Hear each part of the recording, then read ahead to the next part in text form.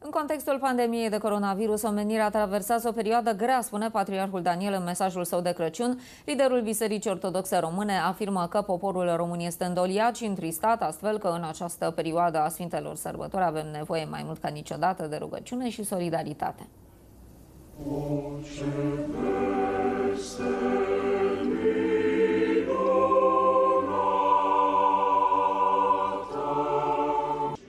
În contextul pandemiei de astăzi, omenirea confruntată cu noul coronavirus traversează o perioadă grea privind viața și sănătatea oamenilor.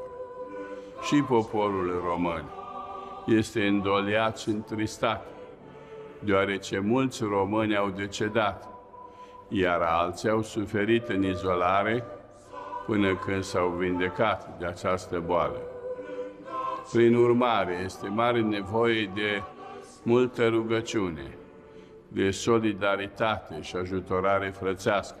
Liderul Bisericii Ortodoxe Române spune că este important să-i pomenim în rugăciunile noastre pe toți românii care se află printre străini, pentru a păstra cu multă iubire frățească unitatea de credință și de neam. Cu prilejul Sfintelor Sărbători ale nașterii Domnului, anului nou 2021, și botezului Domnului, vă adresăm tuturor părintești binecuvântări, doriri de sănătate și mântuire, pace și bucurie, fericire și mult ajutor de la Dumnezeu în toată fapta cea bună, dinpreună cu salutarea tradițională, la mulți ani! Să crească